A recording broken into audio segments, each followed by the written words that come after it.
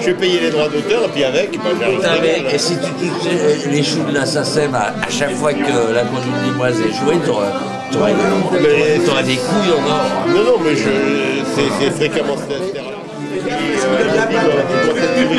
là, en fouillant, j'ai dit non, non, ça va faire notre soldat inconnu. Ça s'appelle la connu limoise. Voilà, C'est un morceau dédié à un soldat inconnu de la cornemuse. Oui, mais c'est une histoire de cornemuse enterrée aussi. Oui, oui, avec, euh, avec un bonhomme. Vas-y, développe. Voilà. Voilà, on trouve donc une cornemuse. Voilà. Et on, on m'a- demandé de, de- de voir si je pouvais pas trouver le nom du gars, ce qui est sans doute possible avec l'origine du cimetière, tout ça.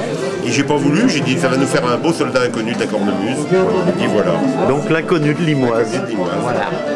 Et quelques années après, il y a une nana qui a déboulé au bistrot et qui a demandé à la bistrotière Elle est où la tombe? Où il y a de la musique qui sort le soir C'est vrai La bistrotière. Et il y en a une autre qui a raconté que quand ils ont ouvert une tombe, on a trouvé un manuscrit avec une musique écrite et que c'est ça, tu vois, il y, a- y y la légende quoi. Et je l'ai trouvé sur une banque de, de morceaux pour les bœufs euh, aux États-Unis et il s'appelle The Unknown Piper.